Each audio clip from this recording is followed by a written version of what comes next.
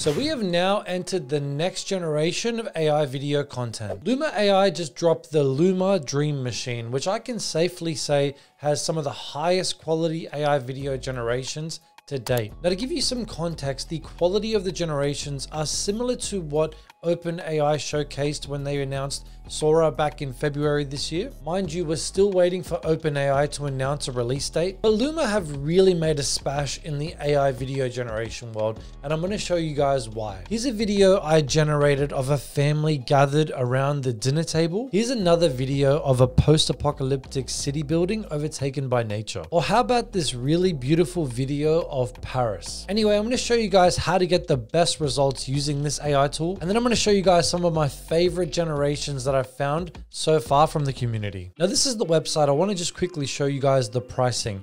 First of all, I am on the standard plan, which gives me 120 generations per month, and 30 of those are for free. Now, the amazing thing about this is the free option gives you 30 generations per month, which is actually quite generous. Most video generators don't give you this much. So if you guys are to go play around with this, go play around with it now. Now, I want to show you guys something cool. When you click here, right, it takes you to the front page and boom, just a really nice visual interface, beautiful.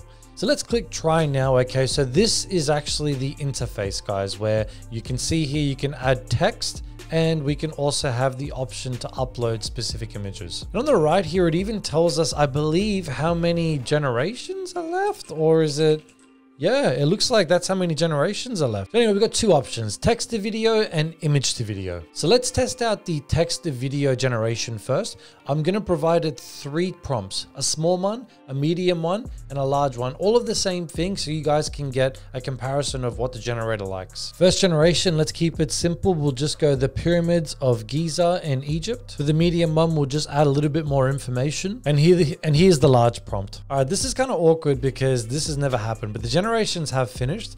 Unfortunately, the small one, I don't know why, but it hasn't generated, still generating. But I'm going to show you the medium and large one, okay? It took about three minutes. Let's click into this one first. So this is the generation. You can see that the walking, the camera motion, and even just the quality of that pyramid looks very realistic and much more detailed than any other AI video generation. So that's already, that's the medium prompt. Let's check the large one now. This is the large prompt. Um, so obviously it's just a different angle, but you can see there, it's very realistic. It kind of reminds me of like video quality back in the 90s maybe so i don't know very impressed with both of those two now obviously that was something that the world's already seen we've seen the pyramid Let's test and see how it does with something that's never been seen before. All right, so the video generations are done. These ones, it was kind of interesting. They all finished at the same time, but they took much longer than the pyramids of Giza. It took about six minutes. Now, this is the first one. I went with a, floating city in the sky. I'll, I'll be honest, mm, I'm not really happy with that generation, to be quite honest. I'm gonna I'm gonna put that one down. Uh, let's go to the next one. This one's a little bit better.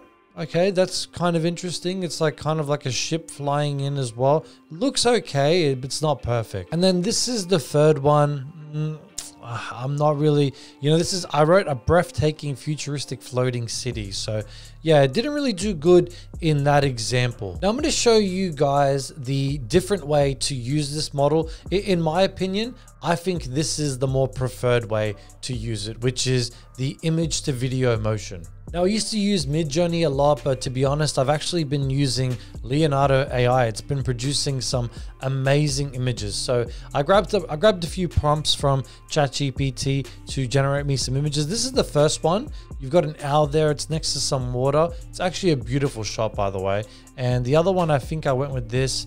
Got a little bit of underwater action. I think it looks like uh, kind of like Atlantis or Dubai in the background. I'm not too sure, but let's go with these two images. So you just click here and you just want to go to where the image is. Let's upload that one. Now it gives you an option to actually add a prompt with the image, okay? What I'm gonna do, I'm gonna do both those two photos quickly. I'm just gonna do it with no text and we'll do the next example with text. Okay, so what I actually did was I generated the ones at the bottom without no text and the ones at the top, those were a prompt that was provided for the generator. Now, weirdly enough, the two at the top that have a prompt that I generated like I generated them after. Those generated first, and then the ones without any prompt, they generated after, okay? Now, I'm gonna show you guys both results and you guys are going to be quite shocked at which one would which one you guys might think would be better. I'm going to show you guys the one with the prompt and the text first okay? Let's go with this one over here. So you can see there the owls on the left and it sort of pans out to the right. It's nice the water's like flowing as well. I, I think it's okay. All right now i'm going to show you guys the one with no text okay? This was just the image itself. Have a look at this. Oh my god. So it's sort of like the generator made up its own mind of how the image should move as opposed to putting a prompt there. So just food for thought, guys. Like uh, this is actually amazing, this one. I'm going to save this one. Same thing for the Atlantis one. This is the one with the prompt and the image provided. You can see it's actually not too bad. I like it as well. Now let's compare it to the one with no prompt at all. Look, yeah, just as good. I think the fish flow a little bit nicer as well. So if I had to choose between both of them, I honestly would choose the ones with no prompt. Now I'm just to show you guys some posts that I have on Twitter from the community. Guys, and if you haven't followed me on Twitter, go check it out and follow me. And this one's kind of cool. It's from Pierrick. It's like a guy you can see he's in traffic and the cars are all moving around him and his head's moving his hands moving. This is actually a really good one. This one's kind of cool as well. He's and this is a cool workflow as well. It's similar to what i do. He generates the image of midjourney. He uses magnific to enhance it and then he uses luma labs and i mean have a look at that pikachu that looks literally like uh, that's amazing. Then we got Kiri. She generated this nice little video, and you can see there like everyone's expressions, and they're all. It's just you know what? It's very clean. Here's one from Max, and looks like it's um, some sort of AI, AI Norway film, but beautiful. Look at the like literally look at the um, background there with the waterfall like and the water it's all very nice even just stuff like this like you know i think i've generated an image like this and and brought motion to it using just Leonardo, but this is a completely different level. This is just absolutely amazing. Anyway, guys, I hope you enjoyed the video. Let me know what you think of Luma Dream Machine yourself in the comment section below. Uh, I will leave you guys and I'll see you guys in the next one. Peace.